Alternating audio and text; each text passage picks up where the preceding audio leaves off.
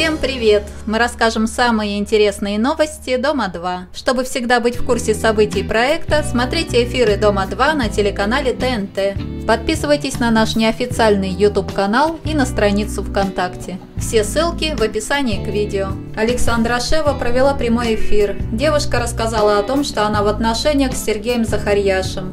Лилия Читрару из-за этого страдает. Она хочет покинуть остров и вернуться на поляну. Это радует Дмитрия Талыбова, потому что ему очень нравится Лилия. Распалась пара Юлии Ефременковой и Сергея Кучерова. Юля узнала о переписке Сергея с Настей Датюковой. Она считает, что он еще не нагулялся, она же готова к семье и к детям.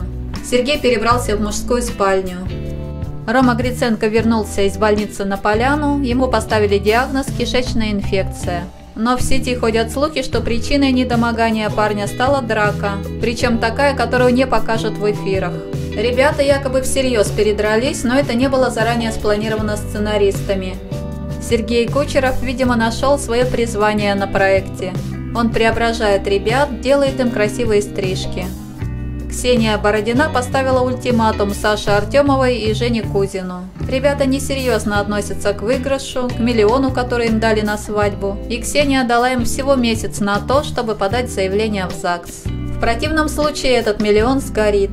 Маша Кахно получила предложение руки и сердца. Никто не ожидал, что Андрей Денисов сразу перейдет к более близкому этапу отношений. Маша пока не дала согласия, это неудивительно, потому что их разговор состоялся поздней ночью, а Андрей был в стельку пьян.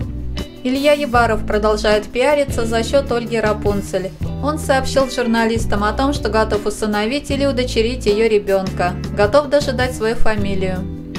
Алиана Устиненко, Вика Романец и Антон Гусев были в гостях у Ирины Александровны Агибаловой. Хорошо посидели, пишет Ирина Александровна, тихо, уютно, по-домашнему. Покушали вкусных пирогов.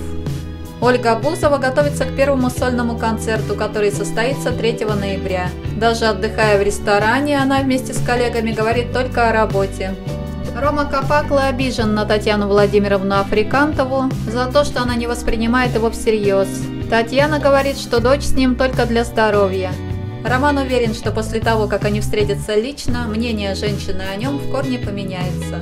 Степан Менщиков прокомментировал ситуацию в своей семье. Степан говорит о том, что его все устраивало, но Евгения решила тем не менее от него уйти.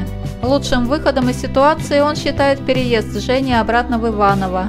Оставаться же в Москве им никак нельзя, потому что это очень дорого. «Я в Москве снимаю квартиру за тысячу долларов», – говорит Менщиков. «Я еще и вам должен квартиру снимать. 30 тысяч за садик платить, плюс за нянечку, еще и алименты по 50 тысяч. Я сын олигарха, что ли?» На этом все. Спасибо, что были с нами. Ставьте лайки, комментируйте, подписывайтесь на наш канал на YouTube и на страницу ВКонтакте. Ссылки ищите в описании к видео. И не забывайте смотреть эфиры Дома 2 на канале ТНТ.